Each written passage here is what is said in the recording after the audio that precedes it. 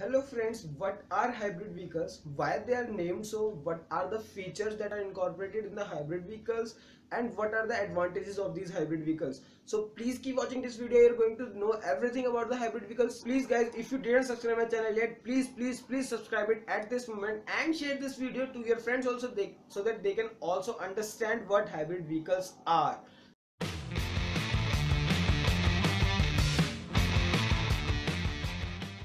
Okay let's come what hybrid vehicles are. So basically our IC engines produce power in a wide range. But on the other hand electric vehicles have the limited power range. But emissions of these IC engines is very high. On the other hand these electric vehicles are of the zero emission. So combining both of these is a very logical approach. So what they do is they just combine the IC engine and the electric motor to power a vehicle. So that's why they are known hybrid vehicles because they use two power sources instead of single power source. So this is the basic diagram of a vehicle of a hybrid vehicle. This is the engine this is the gearbox gb and this is the motor electric motor that is powered by the battery. This engine is going to be powered by a gasoline or a diesel. So what happens is so both of these power sources that is engine and the motor gives power to the gearbox and then gearbox transmits this power through the propeller shaft to the differential and then to the rear wheels. So what happens is both of these uh, so what happens is both of these power sources are making their efforts to drive the vehicle so that's why they are known as the hybrid vehicles. So there are several features that are listed over here. First of all the idle off. Idle off feature just turn off the ic engine whenever your car is at stop for several times that is uh, for few minutes whenever you are waiting for the red light. So the ic engine just turn off because the ic engine is consuming some power so as to keep it running at the time of idling. So it is still consuming some power so what happens is the energy stored in the battery is going to power your air conditioning. All of the accessories all of the electrical department of the vehicle is going to be run through a battery not by the alternator at this time because the IC engine is turned off. And when you drive the vehicle what happens is it is initially driven by the electric motor and after that whenever you need the engine or more power the engine also gets started and starts transmitting its power to the gearbox and then to the vehicle.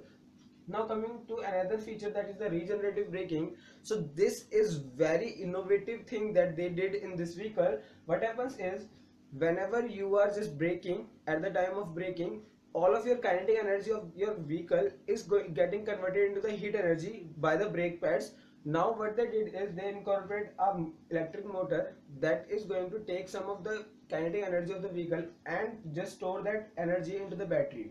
What happens is when you are braking so the the these wheels are going to transmit the power in the opposite direction and then to this and what happens is the gearbox will transmit the power to the electric motor and then electric motor is going to work as a generator and hence they, it will feed some electric supply to the battery. So this stored energy can be used later on. So another feature is the power assist. In these vehicles, the gasoline engine can be downsized. That is, the lower capacity of the IC engine can be used because there are two power sources. So what happens is, the engine is going to power the vehicle, but when you, whenever you need higher acceleration, the motor will also provide some power to the vehicle, and hence it will compensate the downsize of the engine the benefit of downsizing the engine is that it will save the amount of the fuel that is used the extra amount of the fuel that is used so smaller engine will consume less power and this electric motor is going to compensate that downsizing of the engine. Another feature of this hybrid vehicle is electric only drive. So electric only drive allows the vehicle to drive only on the electric electricity. That is the drive will be given only by the motor and switching of the engine. So what happens is if you have a plug-in hybrid vehicle you can just charge your battery to the full and if you have a larger battery then what can you do is just drive the whole vehicle by the electric motor only. So what happens is this only motor is going to drive the vehicle.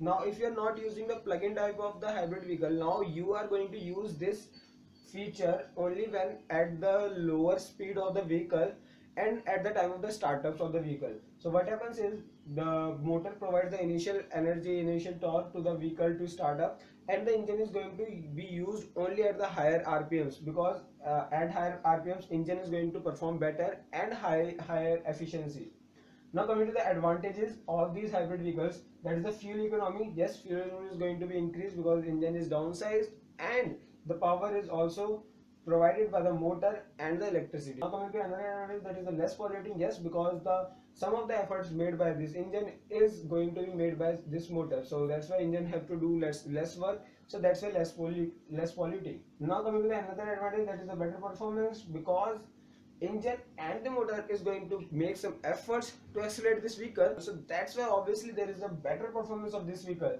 now coming to the fourth and the last advantage of this vehicle that is hybrid energy sources. So if you are lost with the gasoline you can just charge the battery and run the vehicle on the electricity. And if you are not having the electricity you can just refuel the tank and run this vehicle by the gasoline only. So that's why you have two options to drive the vehicles so thanks a lot guys. I hope you understood everything about the hybrid vehicle. If you still have any doubts and inquiries you can please feel free to ask me in the comment section below. I'm going to answer all your questions if you didn't subscribe my channel yet please please please subscribe it at this moment. And don't forget to share my videos to your friends so that they can also connect to me.